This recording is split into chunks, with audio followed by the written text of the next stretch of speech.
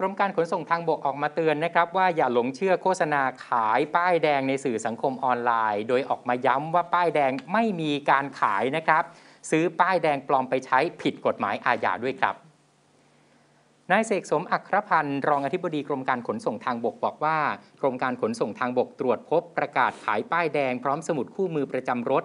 และประกาศรับทำป้ายแดงในสื่อสังคมออนไลน์ ซึ่งจากการตรวจสอบพบเป็นป้ายแดงปลอมที่ไม่ได้ออกโดยกรมการขนส่งทางบกด้วยสำหรับป้ายแดงที่ถูกกฎหมาย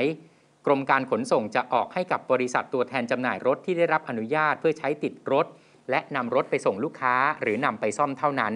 ไม่ใช่ป้ายทะเบียนส่วนบุคคลที่ผู้ใดจะนำไปจำหน่ายต่อหรือผลิตขึ้นได้เอง จึงขอเตือนประชาชนว่าอย่าหลงเชื่อ ซื้อป้ายแดงที่มีการประกาศขายในสื่อสังคมออนไลน์ เพราะการนำป้ายแดงปลอมไปติดรถ เจ้าของรถมีความผิดฐานใช้เอกสารทางราชการปลอมตามกฎหมายอาญา มีโทษขั้นจำคุกตั้งแต่ 6 เดือนจนถึง 5 ปี และโทษปรับตั้งแต่หมื่นถึงแสนบาท เจ้าของรถสามารถสังเกตป้ายแดงที่ออกให้โดยกรมการขนส่งทางบก โดยตัวแผ่นป้ายจะต้องมีตัวอักษรขอไข่สอเสือ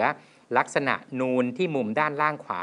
และลายน้ำปรากฏในแผ่นป้ายทะเบียนรถ กรมการขนส่งทางบกมีมาตรการป้องกัน และตรวจสอบป้ายแดงปลอมนะคะ โดยได้มีการจัดทำระบบบริการใบอนุญาต เครื่องหมายพิเศษ หรือว่าป้ายแดงสำหรับบริษัทตัวแทนจำหน่ายรถที่ได้รับใบอนุญาต บันทึกข้อมูลการใช้ป้ายแดง เมื่อมีการส่งมอบรถยนต์ให้กับผู้ซื้อ เพื่อใช้ตรวจสอบสถานะการครอบครองป้ายแดงแบบออนไลน์ ได้อย่างมีประสิทธิภาพมากขึ้น พร้อมทั้งประชาสัมพันธ์ สร้างความเข้าใจให้กับประชาชน ผู้ใช้รถป้ายแดงได้ทราบ เน้นย้ำถึงวัตถุประสงค์การใช้งานป้ายแดง และลักษณะป้ายแดงที่ถูกต้อง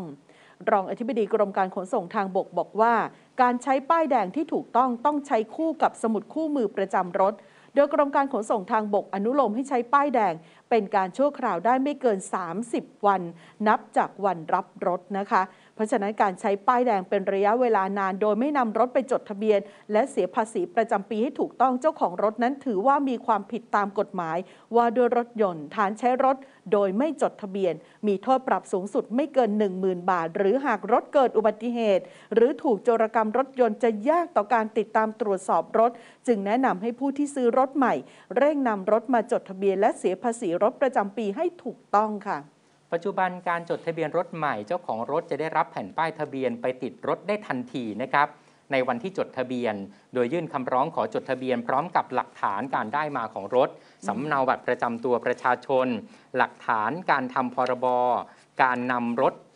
เข้ารับการตรวจสภาพ ที่กรมการขนส่งทางบก หรือว่าที่สำนักงานขนส่งของจังหวัดที่ประสงค์จะจดทะเบียนรถได้ค่ะคุณผู้ชเพมราะฉะนั้นอย่าหลงเชื่อ ถ่ายหน้าจอนี้ไว้เลยก็ได้นะคะ เพื่อเป็นข้อมูลเกี่ยวกับเรื่องของคำเตือนนะคะ แล้วก็เรื่องของป้ายแดงเราจะเห็นว่าบางคนเนี่ยนะคะอ้าวทำไมรถเนี้ยยังป้ายแดงอยู่อีกแล้วมันเลยเป็นเดือนมาโอ้บาสางมคนสิบนี้วันบางคนข้ามปีไปเลใช้ยก็เป็นมีปีเลยก็มีโอ้นั่นน่ะสิคะอ่า รถนี้ยังแหมเพิ่งจะซื้อมาใหม่อยู่ตลอดเวลาเลยใช่ใช่ไหมคะแต่ว่ามีความผิดทางด้านทางกฎหมายนะคะ